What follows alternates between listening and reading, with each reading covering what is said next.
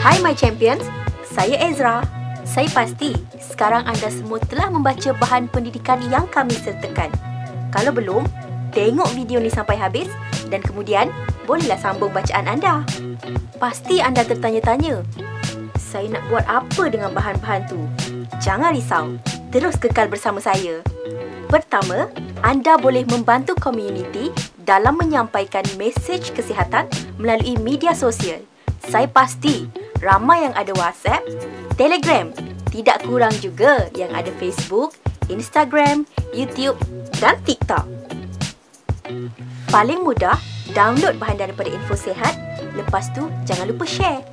Anda boleh berkongsi maklumat kesihatan sekurang-kurangnya seminggu sekali di dalam laman media sosial anda. Kedua, menjalankan outreach. Macam mana tu? Ha, macam ni. Anda hanya perlu mengedarkan bahan pendidikan kesihatan dari rumah ke rumah. Mulakan dengan jiran terdekat saja dahulu. Kan mudah tu. Tapi jangan pergi seorang-seorang. Baik pergi berkumpulan supaya lagi selamat. Nak syok lagi? Ajak agensi kerajaan atau swasta untuk bekerjasama jalankan outreach. Tes, tes. Satu, dua, tiga. Pernah dengar pengumuman khidmat awam? Untuk mudah faham. Contohnya, kalau ada rumah-rumah ibadah atau balai raya, anda boleh gunakan PA sistem mereka untuk buat pengumuman khidmat awam.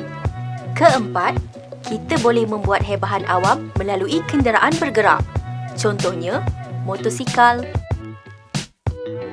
kereta atau van. Hanyalah saranan kepada My Champion. Saya yakin lebih banyak lagi cara yang boleh digunakan mengikut kemudahan yang tersedia di lokaliti masing-masing. Hmm, dari mana pula nak dapatkan bahan-bahan promosi ni? Download bahan-bahan melalui portal Facebook dan Instagram My Health serta laman web Info Sehat. Anda boleh dapatkan bahan-bahan daripada unit promosi kesihatan, pejabat kesihatan daerah atau jabatan kesihatan negeri yang berdekatan. Mudah kan? Jom jalankan tanggungjawab sebagai ejen kesihatan komuniti. Hashtag Kekal Sihat.